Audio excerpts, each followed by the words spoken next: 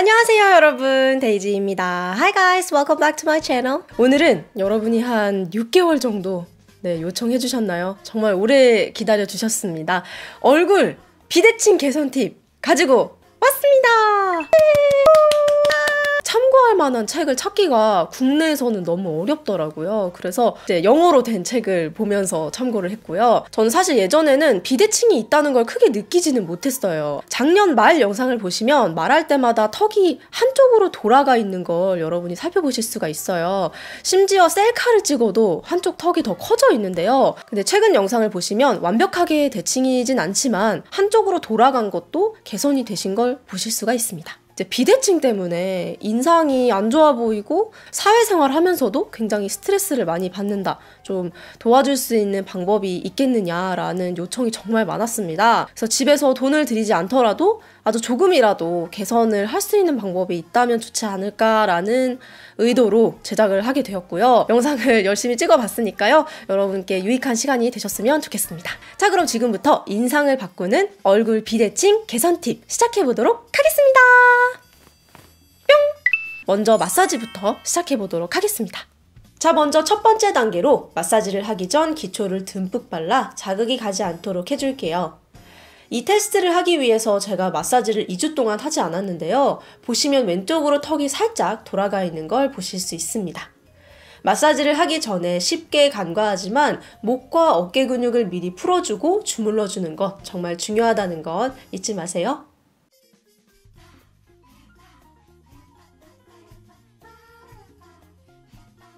자, 그럼 이제 본격적으로 마사지를 해볼 건데요. 살짝 미소 지은 상태에서 검지로 입술 라인 위쪽 끝부터 코 양 옆까지 쭉 밀어 올린 후 살짝 고정해주고 다시 반복해줄게요.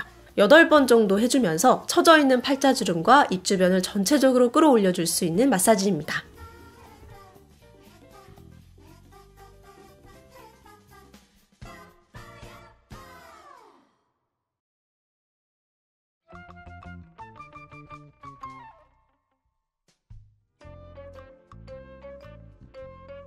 이제 입꼬리가 한쪽만 유난히 더 처져 있다면 그쪽만 다섯 번 정도 추가해서 마사지를 해줄게요.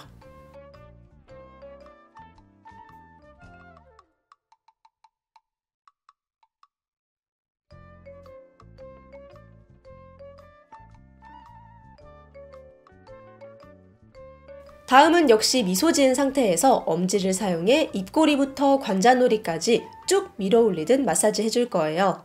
역시 관자놀이 부분부터 꾹 눌러 고정시켜 줄 건데요. 이때 광대 라인을 따라 부드럽게 올려줘서 주름이 생기지 않도록 유의해 주세요. 다섯 번 정도 해주시면 됩니다.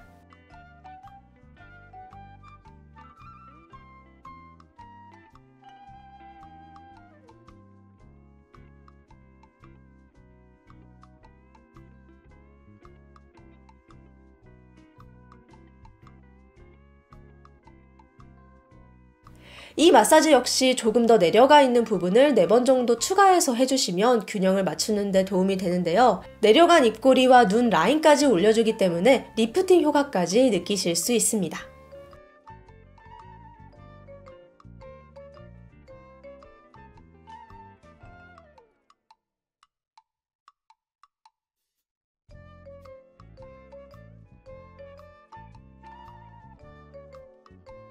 마지막 마사지는 볼 한쪽에 공기를 넣고 해볼 건데요. 보시는 것처럼 볼에 공기를 넣으면 넣지 않은 쪽으로 턱이 자연스럽게 돌아가는 걸 보실 수 있습니다. 이 상태에서 턱 라인을 따라 귀 위쪽까지 엄지를 사용해 끌어올려준 뒤 살짝 눌러 고정합니다. 이렇게 볼에 공기를 넣고 마사지를 해주면 턱 근육에 무리를 주지 않고도 자연스럽게 자극을 주게 되고 또 탄성을 잃지 않도록 근육을 이완 수축시켜주는 운동 효과도 있답니다. 물리적으로 강하게 밀거나 꼬집기보다는 이렇게 근육 자체의 힘을 잃지 않고 마사지를 해주어야 더욱 장기적으로 건강하게 관리하실 수 있을 거예요. 역시 본인의 상태나 재량에 따라 원하는 쪽에 5회 이하로 추가해서 해주시면 좋고요. 매일매일 꾸준히 해주시면 더욱 오랫동안 유지하실 수 있을 거예요.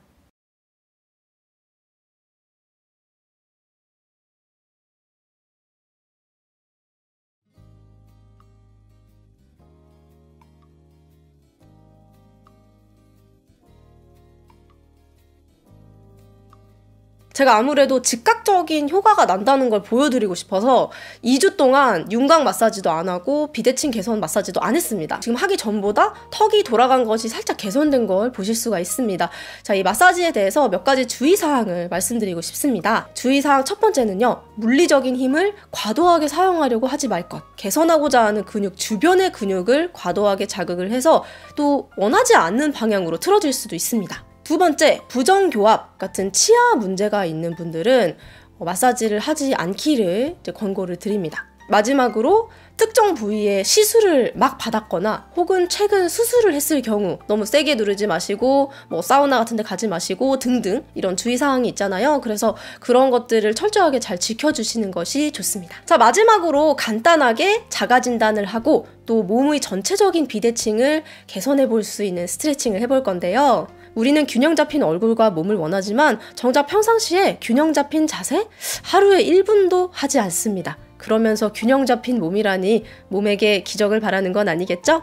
머리 위에서부터 손을 뻗어 인체 비례도처럼 레오나르도 다빈치의 인체 비례도처럼 천천히 근육을 긴장한 상태로 바닥까지 팔을 내렸다 천천히 제자리로 돌아가는데요. 이때 손바닥은 앞을 향하도록 합니다. 긴장한 상태로 하는 것이 중요합니다. 여러분이 그냥 힘을 빼고 하시게 되면 아무 소용이 없어요. 거울 앞에서 하시면 더욱 좋은데요. 본인의 자세 균형이 맞는지 아닌지 관찰해 가면서 하는 것이 가장 중요합니다. 솔직히 말씀드리면 저도 생활 습관이 그렇게 좋지는 않습니다. 제가 마사지 영상 만들면서 누누이 말씀드렸지만 마사지는 단기적인 효과를 줄 수밖에 없습니다. 그래서 마사지를 해주시는 것도 좋지만 전체적으로 생활 습관을 건강하게 좀 가져가는 게 중요하다는 것 잊지 않으셨으면 좋겠습니다. 사람들이 보는 것만큼 믿는다라는 말 하잖아요. 여러분은 어떻게 생각하세요? 물론 저도 그게 전부라고 생각하지는 않습니다.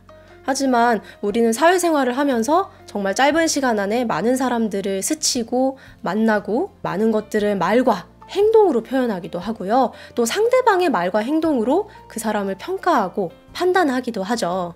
만약에 우리의 선한 마음이 혹은 진심이 상대방에게 조금 더 잘 전달될 수 있다면 여러분의 미소가 여러분의 따뜻한 진심을 가득 담을 수 있기를 항상 응원할게요. 자, 저는 이만 물러가도록 하겠고요. 다음에 또 재미있는 영상, 유익한 영상 가지고 오도록 하겠습니다. 그럼 그때까지 안녕!